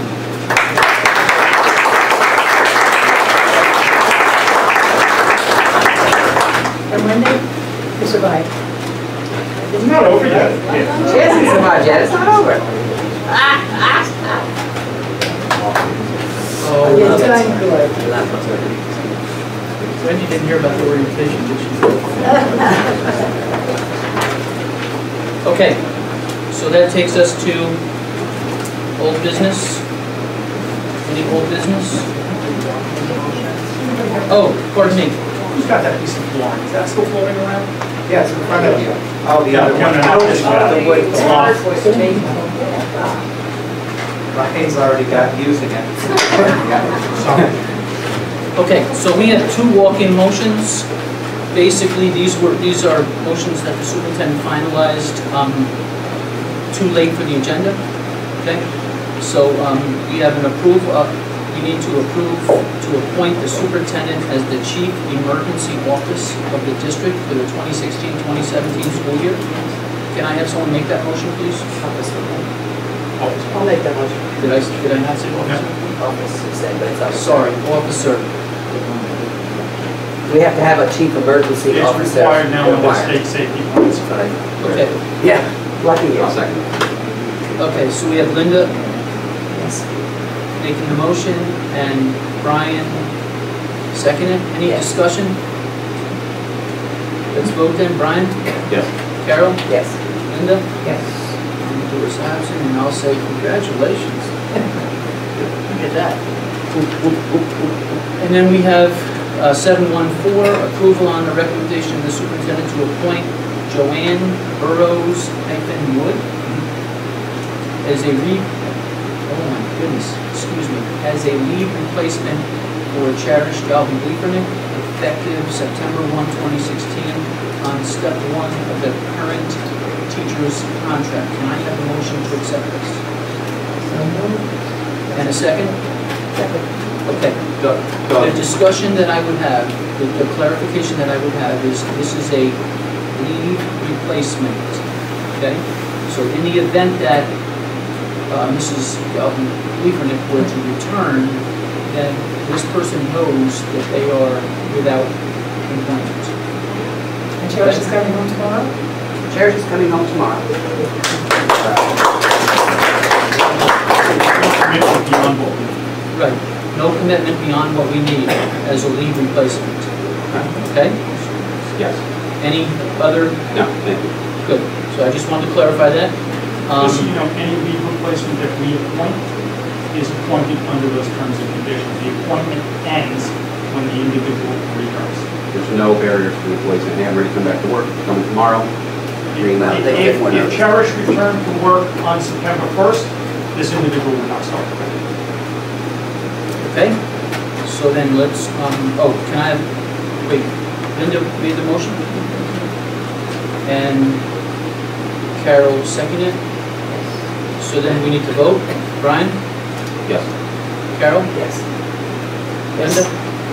Amador's absent, and I'm yes, okay? Okay. Now we're done with our consent. Um, Old business, anything? I know we have goals to revisit um, at nine o'clock. I just, yeah, well, we're gonna, we're gonna come up with, a- with with that date, excuse me? I have a couple questions. Okay. okay. If everybody's hot, they want to leave, I don't really, I need your answer, not theirs. Okay. Um, I'm ready New when you business? Any new business, folks? I have old business. You have, I have old business. you have old business. Um, How about we save it for public comment? Sure. Okay, great. Um, Any new business, folks? I don't know how to word this, I don't know if it's the appropriate time, but I would like to discuss a specific personnel issue in executive session. Does that wait for after public comment, or do we We'll make have, that motion? after public comment, we'll request an executive session for a specific personnel. Is that in So for new business, do you, do you have that written somewhere? No. Bonnie Help. You have something written? You're the best. Okay, so for new business, we need a motion to approve upon the recommendation of the superintendent to accept and approve Booster Club plan and proposal to refurbish the gym floor and bleachers of, excuse me, junior, senior high school gym floor and bleachers. So moved. And a seconded. Any questions, comments, concerns further than what we've already gone through? No, it's just another opportunity to say thank you for, this obviously tremendous amount of work uh, for you and the whole Booster Club and everybody who's going to be donating their time. It's really fantastic. Like Carol said, it's it's one of those things that only happens in a small town. Makes you proud to be part of this town.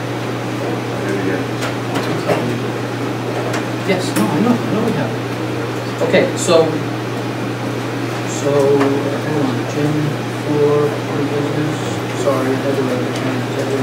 Um, so then Brian made the motion and uh, Carol second. And we just had our conversation. Um, again, I'm going to, going to trust Mr. Dufour and Mr. Pinkowski with the, uh, you know, just approve the riser and we'll handle the rest. I got that, That and clear. Um, so I'll just, Brian, Yes. Carol, Yes. uh, Linda? Yes. Amador is absent, and I'll say thank you. Okay, so that leads us to public comment. Um. Did we have an answer to Mrs., uh,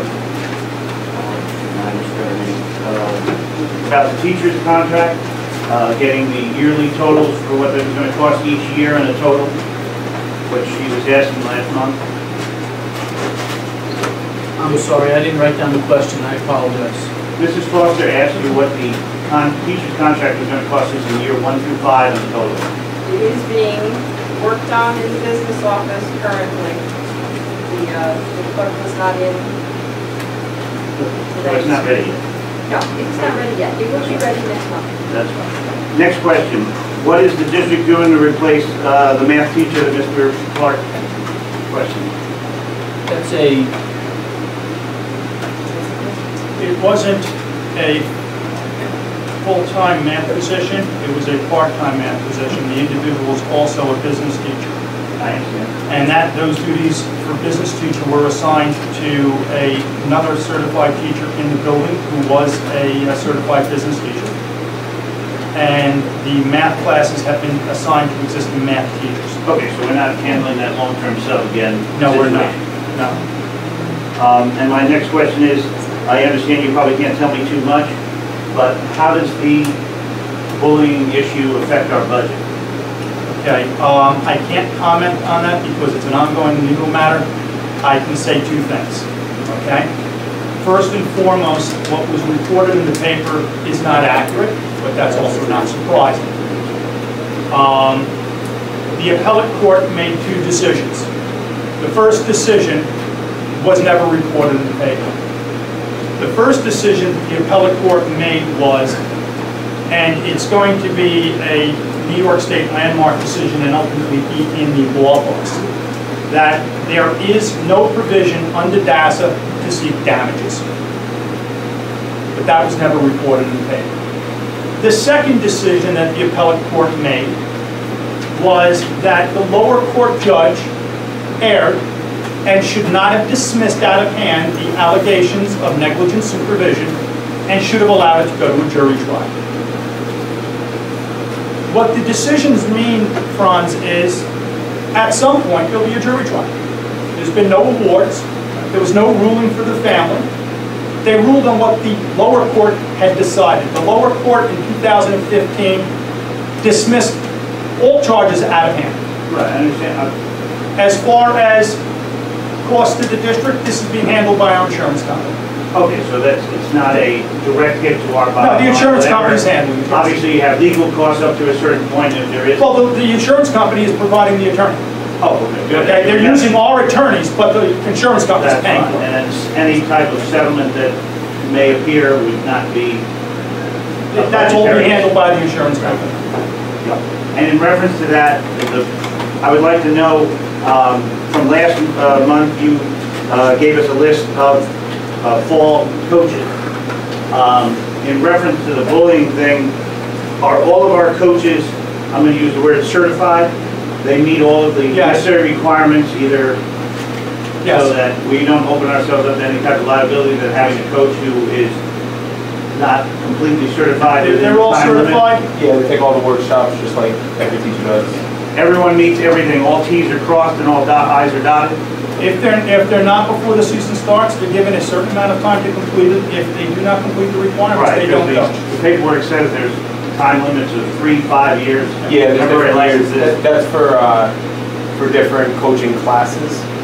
Um, they get five years from their higher. Initial, it as a- says as here a- initial license. Yeah, as a, yeah, for your initial license and from the first day you're hired as a paid. So all of our coaches are in that, so There there was a time where that didn't apply, but not now. We retain records. Yes, JJ keeps the records in conjunction with Bonnie, and then uh, now it'll be in conjunction with Wendy. That's all reviewed several times during the, a- actually, at the beginning of each season, it's reviewed, when the individual puts in their paperwork. Like I'll I'll have, I'll have my fall coaches meeting on Thursday for, and I give out all the dates for the CPR updates, the first aid updates, and what classes they'll. all I'm trying to do is cover everybody. Yeah, no, I know, I appreciate it, I I appreciate do it. not want it. And Promise the- the gossip. The final question I have is, is that I'm on Mrs. Lewis's budget committee, and I've been doing some research regarding, uh, I'm assuming we're preparing to do some type of leasing of buses for the upcoming budget season. Uh, You wanted to make these meetings a little bit earlier. I assume you're going to invite me in September or October? Yes. Okay. Um, I want to know, has, has the school district started on any I have started research. Okay, and you started talking about leasing either partial fleet or full fleet? both options. As- And in comparison to outright purchasing and uh, gathering all the information so that when I do the Right, I've been doing, I've been doing research, and some of these numbers are quite startling and lucrative, and for the district, and you can do a whole fleet of our 15 buses quite quickly, and quite easily. Yes. That- That only applies to the equipment, not the personnel. I'm sorry. It's just for us. It is just the bus I'm trying to get replaced. I have a follow-up question to the question that Franz asked about the math position. So last year, we hired two math teachers at the same time. One was the math business, one was math physics. The math business teacher is no longer here. We have a a person filling in for the rest of the year. What you're saying is that the business responsibilities are transferred to an existing employee and the math responsibilities. So that position is not being filled. That second math position won't be filled this year. The, the second math position, this, the math business position was not being filled. We left the position in the budget, and when we moved Ms. Koenig from a teaching assistant to a teacher, the difference in the cost between her current position and the new position were offset by that position that was already in the budget. When we hired Mr. Jasper, the reason that it is a hybrid position was to keep it within the confines of the existing budget. So the position was repurposed to make sure that we had adequate supervision in the building.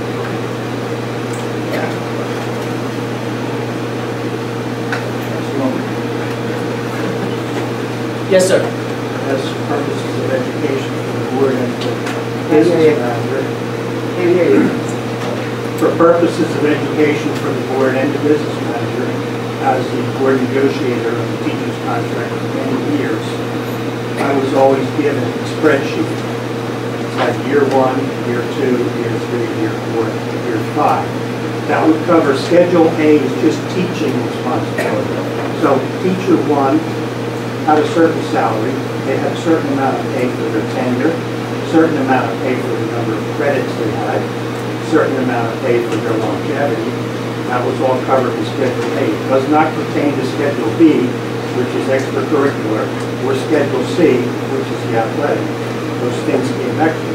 But as a negotiator, I would have been able to tell you what it cost in year one, what it cost in year three, what it cost in year four, across the whole thing. Um, And I, I think that's the information that the board should be given, not necessarily all the board members, but at least the board negotiators. So that when they bring it to the board, a crazy old guy like me asks the question, we want to be able to give out the answer, well, in year two, it's going to cost us two hundred thousand, in year three, it's going to cost us two fifty. And many people in this room have talked about a five-year plan, and we plan for the future. How can you plan for the future unless you have those kind of numbers? My second question is, to Mr. Siegel, do you anticipate there being a vote after we come out of the executive session that the public should be aware of? I don't know that. I don't, I don't think so. I don't expect there to be, but I don't know. You're, you're worried about the temperature in the room? I'm worried about my sleep. I don't, I don't think there would be a vote. I can't anticipate a vote, but I don't know. I'm new at this. But I do have a follow-up to your question about that spreadsheet. Do we have that spreadsheet? Because I think we should probably clarify Mrs. Foster's question, because I think there's some confusion when she asked you that question. It sounded like what she said is, what you thought she said was, let's look at, say, step two, for example. What is step two gonna cost us on the old contract versus the new No, contract? she The way was- that I heard that question. No, she was just asking what the total was. You gave us a bunch of hieroglyphics, Yeah. uh, percentages up, step two, five, slash, whatever. Yeah. All we wanted was some numbers to tell us what the total contract was gonna cost us in year one, two, and so on, and what the total contract was. Okay, we'll have that, we'll have that. Right, you gave us a fantastic hieroglyphic lesson in percentages and steps and all that kind of stuff. But I'm sorry, I don't understand that. All I'm looking at is the dollar amount. Okay, we'll have that for you. Anything else?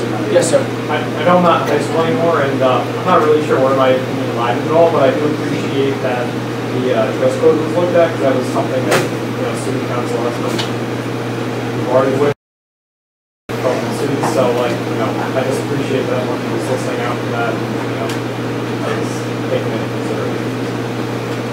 Thank you. You're welcome. It is appreciated. Anything else? So then, so then we need, um, we need a motion to enter executive session. And, um, Brian has a, um, Brian has requested a specific personnel, and I have to talk about a specific, well, a negotiate, contract negotiation. Okay? So those two items. Okay, and a second? So, Go through Monroe's down the hall. okay. We have to vote on it? No, one, one second, I I had to write this Do down. you anticipate needing a vote on anything that you need to discuss? No. So then there's not, we're not There will not be anticipating any business afterwards. That's all. Okay, so then Brian, Yes. Carol, Yes. Linda? Doors are. I'll say yes. Yeah, absolutely. Good night, everyone. I Thank you. in the works, and let them, they know that,